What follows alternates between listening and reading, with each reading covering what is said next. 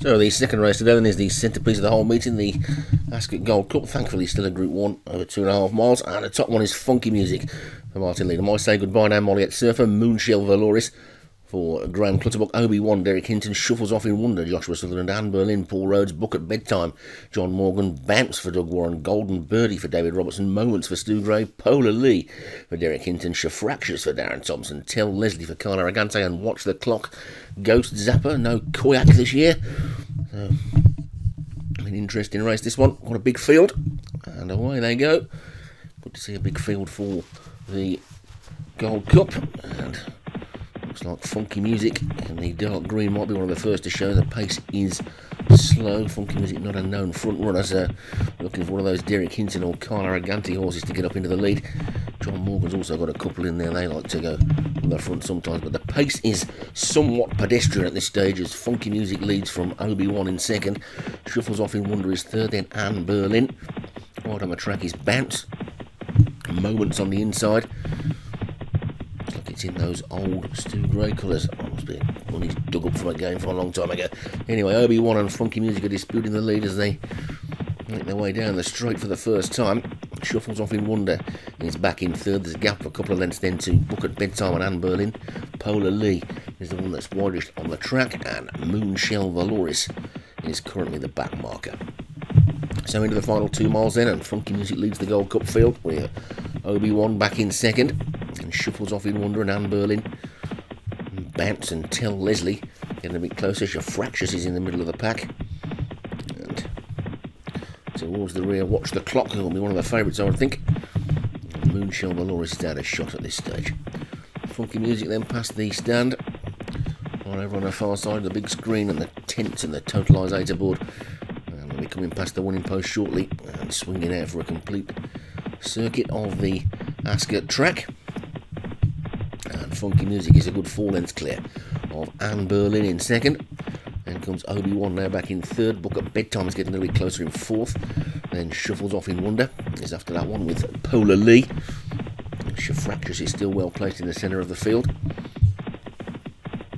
Tell Leslie, another one that's getting a little bit closer as well now. But funky music is setting the pace, which still isn't great. Leads by four or five lengths to Anne Berlin in second. Bedtime is third. Obi-Wan's now dropped back into fourth. Tell Leslie's next. Polar Lee on the outside. The grey moment is tucked in the centre of the field with Golden Birdie just behind and shuffles off in wonder on his inside. That one's shuffled back down the pack a little bit. Then Shafractious Bounce is on the outside as well. Right over on the far rail. Watch the clock. And the back two are Moonshell Valoris and I say goodbye now for Molly Ed Surfer. Not for Molly Ed, yes it's Molly Ed Surfer. I'm getting all these names mixed up this week. It's funky music that's the leader then.